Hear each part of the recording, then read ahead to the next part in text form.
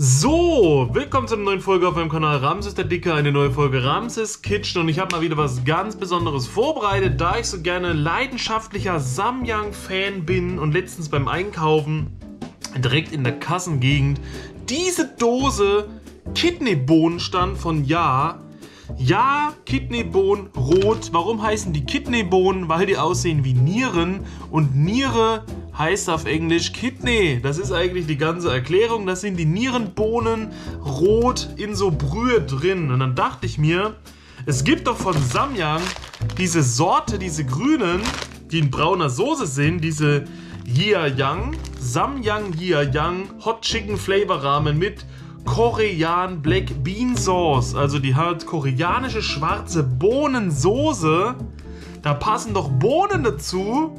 Und dann dachte ich, ist irgendwie trotzdem sinnlos, weil die schmecken ja dann schon nach Bohnen mit Bohnensoße. Eigentlich müsstest du eine ganz andere Sorte machen und dazu die Bohnen. Dann habe ich gedacht, machst du vielleicht eine Sorte Bulldog Cheese und da packst du die Bohnen ran.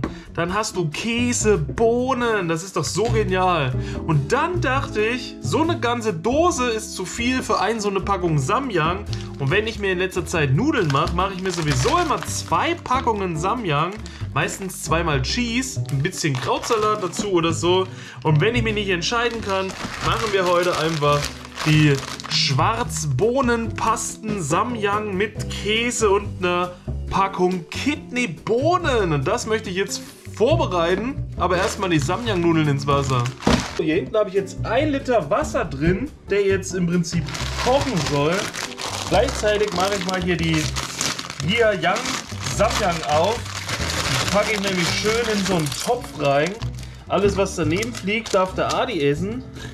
Dann nehmen wir mal die Soße raus, brechen die hier richtig so durch dass die in den Topf passen. Hauen die Käsepackung hinterher.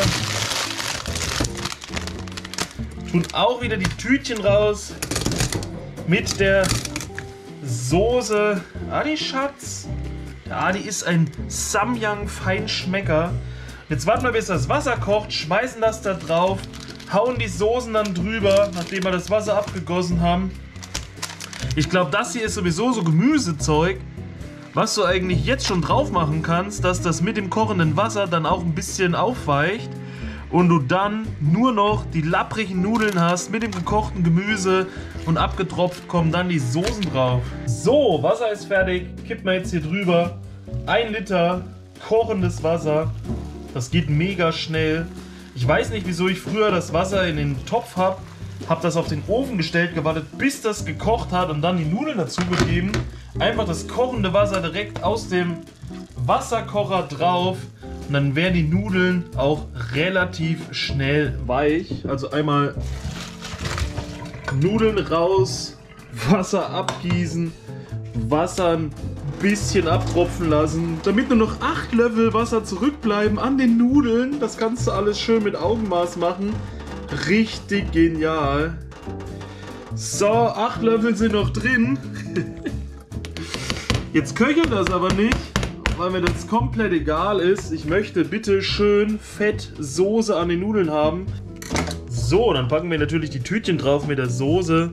Ein Tütchen. Das hier ist das von den Käsenudeln. Jetzt könnt ihr mal schauen, ob ihr einen Unterschied seht. Ob das hier heller ist und flüssiger und ob das hier breiiger ist und dunkler. Es sieht auf jeden Fall dunkler aus.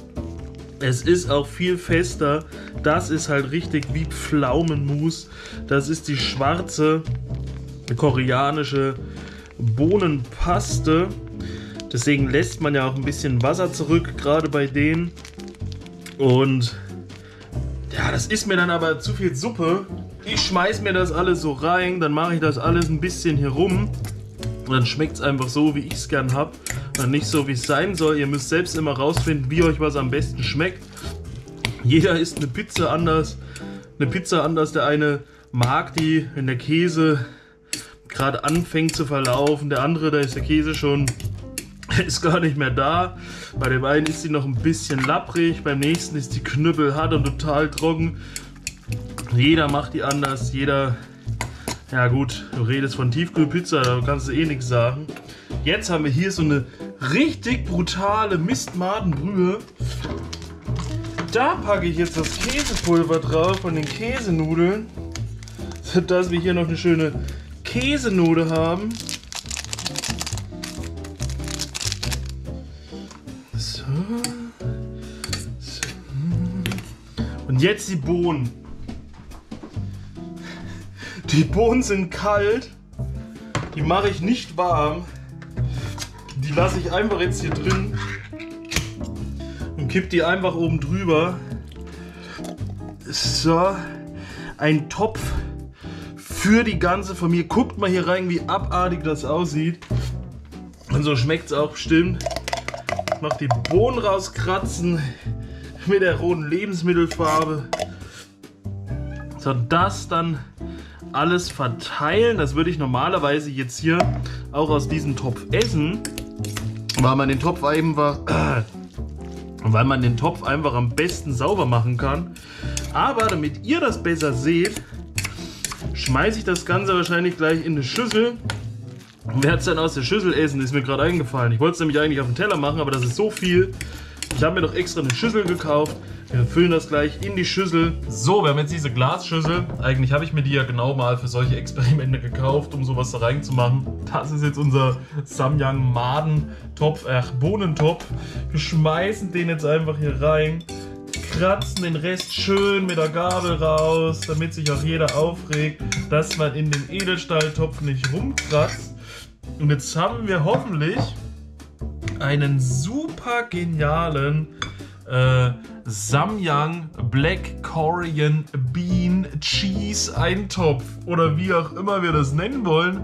Da sind jetzt die, schwarz, äh, die roten Bohnen drin zu der schwarzen Bohnensoße, den Käse Samyang, den Yang Samyang. Also es ist wie ein, wie ein Zungenbrecher.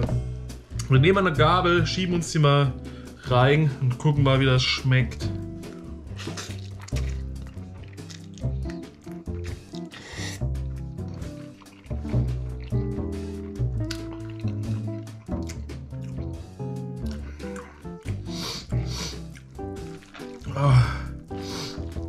Ich brauche noch eine mit viel schwarzer koreanischer Bohnensoße dran.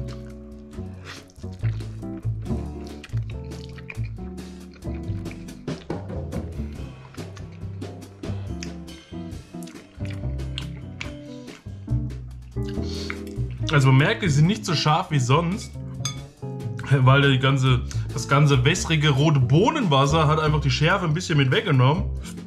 Ist immer noch würzig, aber nicht so scharf wie sonst. Leider isst du halt theoretisch die Nudeln ganz alleine und die ganzen Bohnen bleiben zurück. Also du nimmst zwischendurch mal eine Gabel, wo nur Bohnen drauf sind.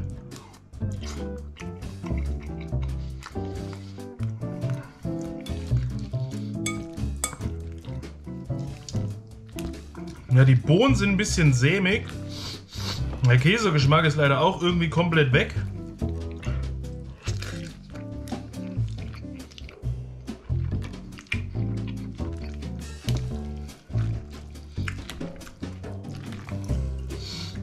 Also habe ich mir irgendwie anders vorgestellt, vor allem, dass man es auch besser essen kann, aber egal was ich hochnehme, ich habe natürlich dann nur die Nudeln.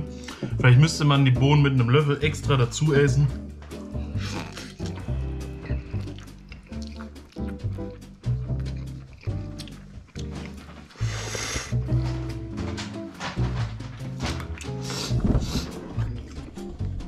Und ihr seht ja hier am Rand, die ganzen Bohnen bleiben übrig und liegen einfach nur noch in der Ecke.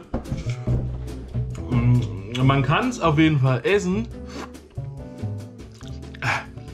Man kann es auf jeden Fall essen, aber da würde ich mir doch lieber zweimal Cheese machen mit bisschen Krautsalat dazu für die Frische. Und naja, Bohnen waren trotzdem ein bisschen ein kleiner Fail.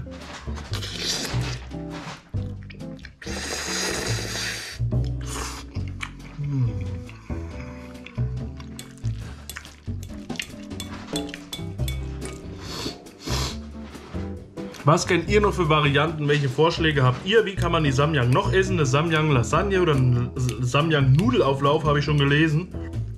Wäre auf jeden Fall auch eine Option. Aber das fand ich interessant. Und jetzt wisst ihr, dass ihr das nicht machen braucht, weil das nichts ist. Ansonsten war es das von meiner Seite aus. Wir sehen uns beim nächsten Mal. Bis dahin, Peace out, Vorhaut, euer Ramses.